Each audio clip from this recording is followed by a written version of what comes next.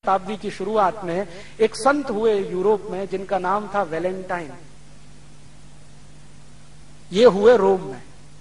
और उस समय रोम का राजा था क्लॉडियस। बड़ा क्रूर, आतंकी। उसकी क्रूरता और आतंक के किस्से यूरोप के इतिहास में भरे पड़े। तो क्लॉडियस जो है, कहता है कि भाई, हम तो महान यूरोपियन परंपरा के वाहक हैं, जिसमें स्त्री को तो रखेल बना के ही रखा जा सकता है। पत्नी का दर्जा उसको देना मूर्खता है। उसी क्लॉडियस के राज्य में ये वैलेंटाइन हो गए, जो गाँव गाँव घूम घूम के कहते थे कि भाई, शादी करो, शादी करके रहो, और एक पत्नी के साथ रहो। साहित्य का थोड़ा अध्ययन किया, और भारतीय साहित्य से उन्हें पता चला कि एक पत्नी के साथ रहना, एक स्त्री के साथ रहना कितना सुखद होता है। उसमें कॉम्प्लिकेशंस कम होते हैं, उसमें बीमारियाँ कम होती हैं वेनरल डिसीजेस बहुत कम होते हैं। ये सब उन्होंने पढ़ लिया। और ये भारत का साहित्य उनको मिला कैसे? ये मिला इस तरीके से कि भारत का व्यापार बहुत चला है यूरोप के लोगों के साथ। Via Africa. पांचवी शताब्दी की शुरुआत में और चौथी शताब्दी के अंत में वेलेंटाइन को भारत का कोई शास्त्र मिल गया। उसका उन्होंने अध्ययन कर लिया। अध्ययन करके पता चला कि भारत की परिवार व्यवस्था कुछ इस तरह की है। तो उन्होंने भरपूर प्रचार किया। पूरे रोम में घूम घूम कर कि शादी करो, शादी के बाद रहो। तो वेलेंटाइन मशहूर हो गए रोम में शादी कराने के लिए। तो वो क्या करते थे? व्याख्यान देते थे गाँव गाँव जाके। और लोगों को समझाते थे, शादी करने के क्या फ़ायदे हैं? और शादी करने के बाद शारीरिक संबंध रखने के क्या फ़ायदे हैं? वो सब समझाया करते थे। क्लॉडियस जो था, उनसे चिड़ता था हमेशा।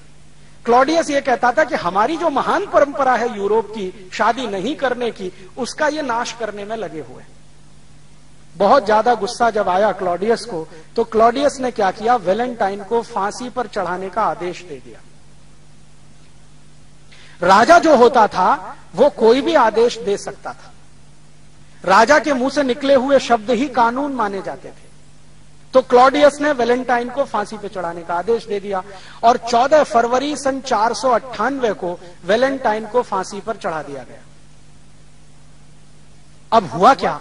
कि जिन लोगों की शादियाँ कराई थी वेलेंटाइन ने वो सब दुखी हो गए और वो सब इकट्ठे हुए। और यूरोप में आपको शायद मालूम है या नहीं, सन 1950 तक फांसी देने की परंपरा खुले मैदान में होती थी। दंड जो है ना, फांसी जैसा, वो सबके सामने दिया जाता था। तो क्लॉडियस ने जानबूझकर क्या किया कि जिनकी शादियाँ करा दी थी वेलेंटाइन ने वेलेंटाइन वैसे चर्च में पादरी थे तो वो क्या करते थे? चर्च में लाके शादियाँ कराते थे बच्चों की।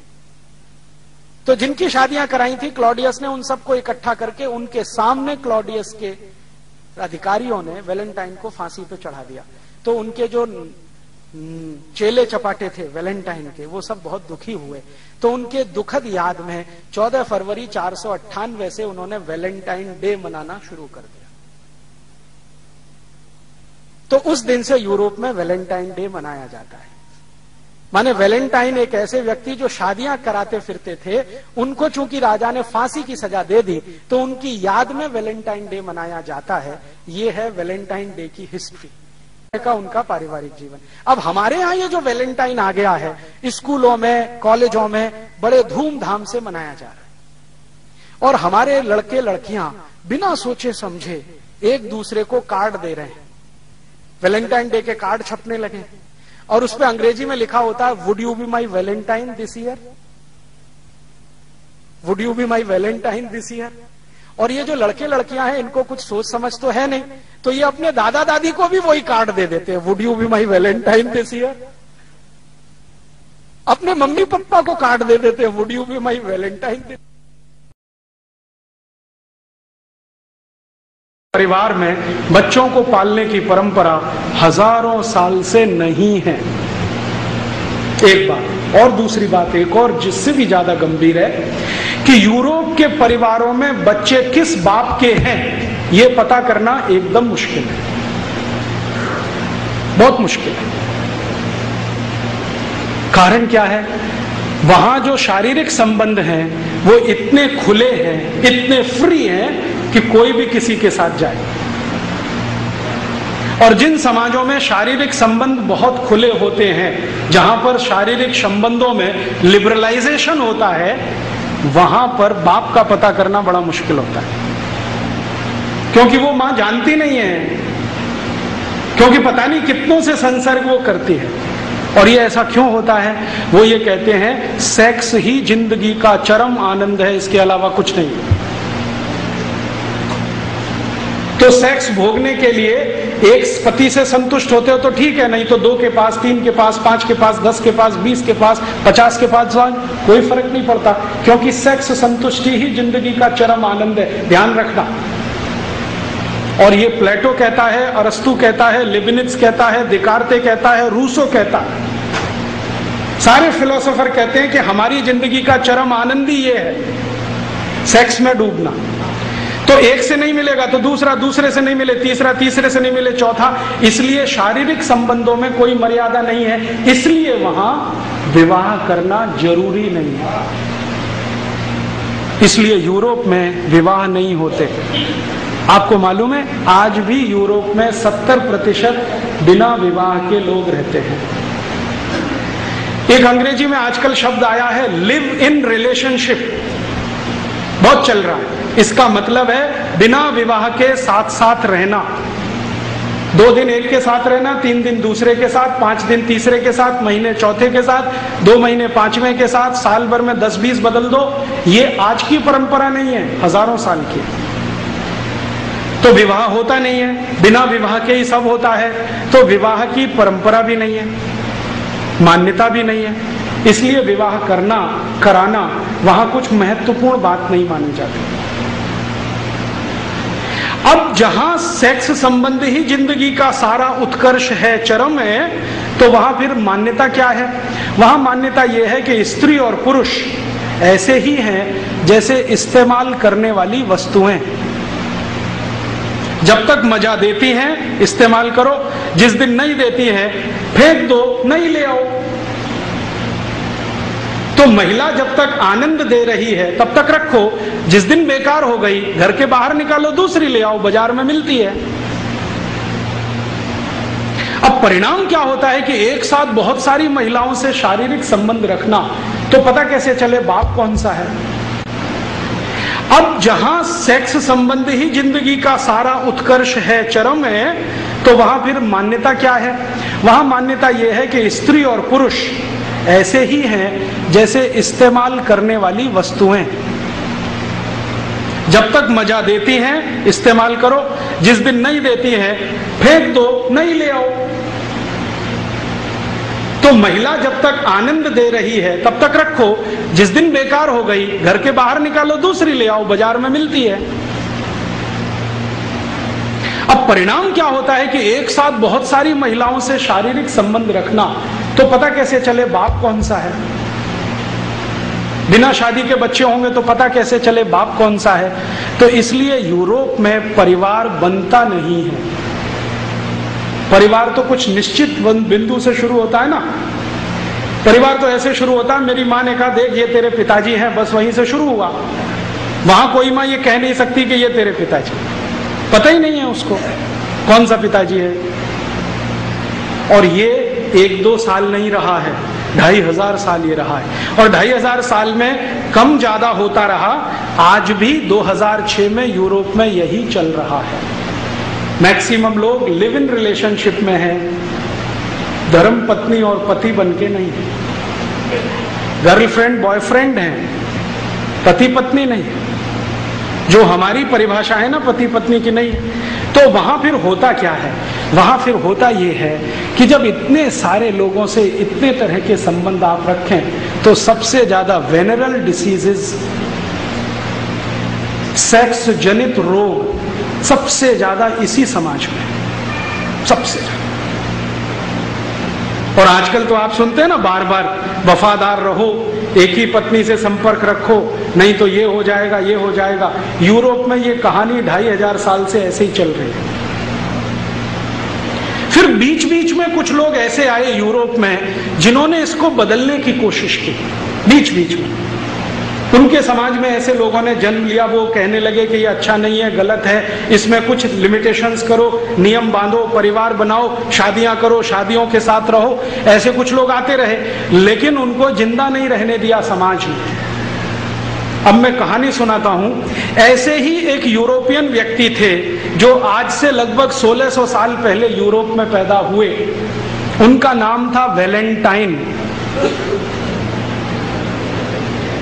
और ये कहानी है 478 एडी एडी माने ईसा की मृत्यु के बाद आफ्टर डेथ आज से लगभग 1300 साढ़े तेरह सौ साल पहले की कहानी। एक वेलेंटाइन नाम के महापुरुष ने जन्म लिया, जो ये कहता था कि हम जो शारीरिक संबंध रखते हैं, कुत्तों की तरह से, जानवरों की तरह से, ये अच्छे नहीं है। इनमें से ये खराबी ये खराबी। तो इनको ठीक करो, एक पति, एक पत्नी के साथ रहो, विवाह करके रहो शारीरिक संबंधों को उसके बाद ही शुरू करो। ऐसी ऐसी वो बातें करते थे। और वो वेलेंटाइन महाशय, जो जो नौजवान उनके संपर्क में आते थे, उनको यही सिखाते थे। रोज उनका भाषण यही चलता था। संयोग से वो चर्च के पादरी हो गए।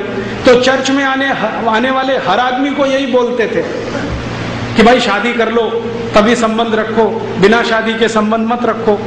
तो कोई कोई उनसे पूछता था कि आपको ये वायरस कहाँ से घुस गया? ये तो यूरोप में है नहीं कहीं। तो वो कहते थे कि आजकल मैं ईस्टर्न फिलोसफी का अध्ययन कर रहा हूँ, उसमें ये समझ में आ रहा है। ईस्ट समझते? ये ईस्ट माने भारत। आज से 1600 साल पहले 1700 साल पहले का भारत पूरा ईस्ट लगभग वही था। चीन में भारतीय सभ्यता, बुद्धिज्म। इंडोनेशिया, मलेशिया में भारतीय सभ्यता, बुद्धिज्म। जितनी दूर तक नज़र जाती है ईस्ट और फार ईस्ट में, सब जगह भारत और भारती था। ये बाउंड्री तो अभी बनी। तो वो कह रहे हैं कि मैं आजकल ईस्टर्न फिलोसफी का अध्ययन कर रहा हूँ और मुझे लगता है कि वो परफेक्ट है। उसी के लिए मैं चाहता हूँ कि आप ये मानो। तो कुछ लोग मानते थे तो वो वैलेंटाइन पता है क्या करते थे? चर्च में बच्चों की शादियाँ कराते थे।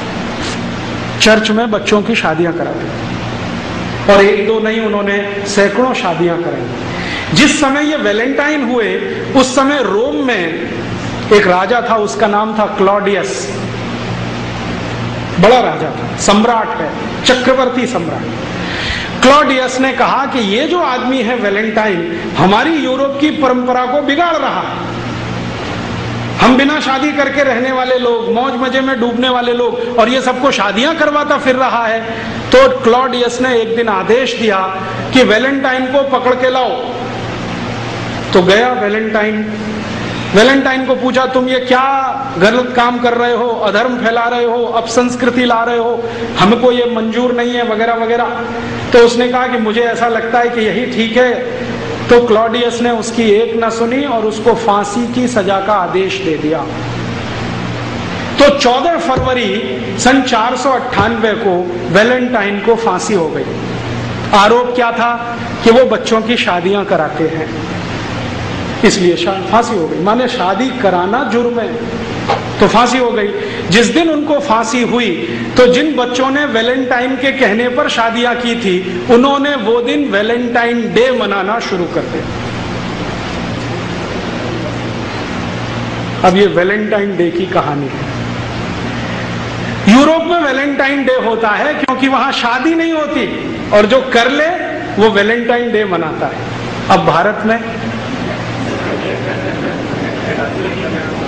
बिना अकल, बिना सोचे, बिना समझे हमने वैलेंटाइन डे चालू कर दिया। स्कूलों में, कॉलेजों में पागलों की तरह से valentine day valentine day valentine day और इस धंधे में बड़ी बड़ी कंपनियाँ लग गई, जिनको ग्रीटिंग कार्ड्स बेचने हैं। वैलेंटाइन डे का ग्रीटिंग कार्ड वैलेंटाइन डे का गिफ्ट और वैलेंटाइन डे का तो मिठाई और वैलेंटाइन डे का तो ये और वैलेंटाइन डे का वो।